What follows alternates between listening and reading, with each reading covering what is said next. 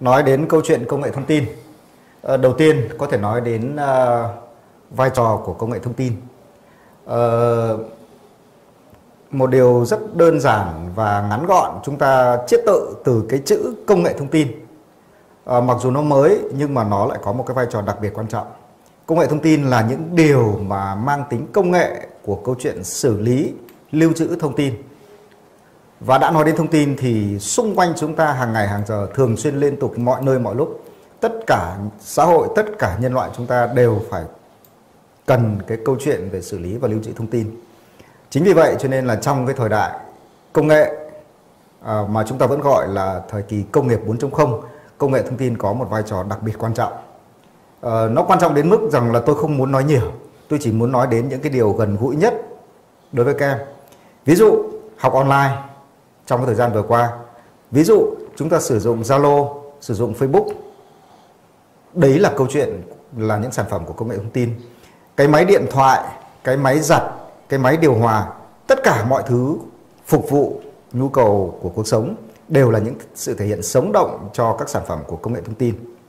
Nếu như nâng lên một chút thì chúng ta cứ hình dung một điều đơn giản như thế này. Cái máy tính điện tử ra đời và khi máy tính điện tử phát triển và người ta nâng lên một cấp, nó thành cái mà chúng ta vẫn gọi là công nghệ thông tin, đã tạo ra một bước ngoặt trong sự phát triển nhân loại. Nó giống như là con người đã tìm ra lửa.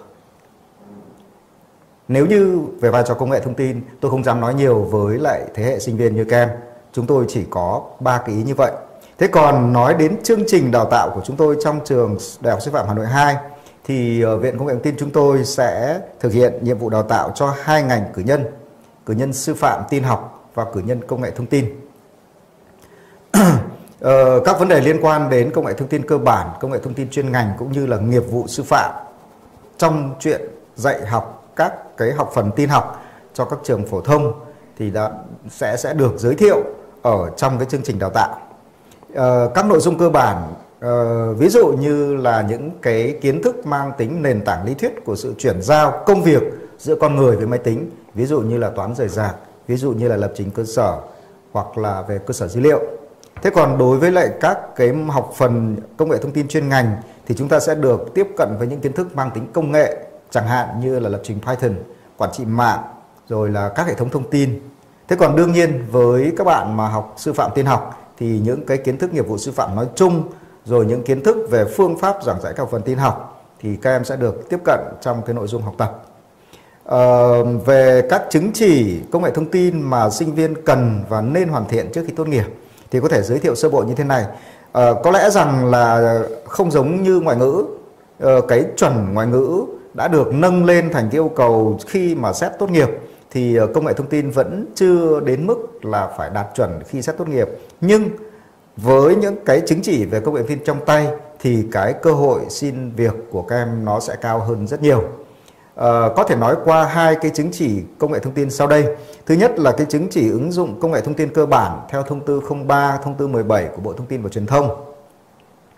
Về cái chứng chỉ ứng dụng công nghệ thông tin cơ bản này thì tập trung chủ yếu vào các cái kỹ năng tin học văn phòng, à, bao gồm những câu chuyện ờ, khai thác hiệu quả các tính năng của máy tính và môi trường mạng trong công tác văn phòng. À, chứng chỉ ứng dụng công nghệ thông tin này thì ờ, được nhà trường Đại học Sư phạm Nội 2 ờ, tổ chức bồi dưỡng và tổ chức thi cấp chứng chỉ. Ờ, một loại chứng chỉ thứ hai đó là chứng chỉ chúng ta vẫn thường nghe thấy người ta nói chứng chỉ IC3. Hiện nay nó đạt tới à nó đã đến cái phát triển đến cái chuẩn ta gọi là chuẩn GS5.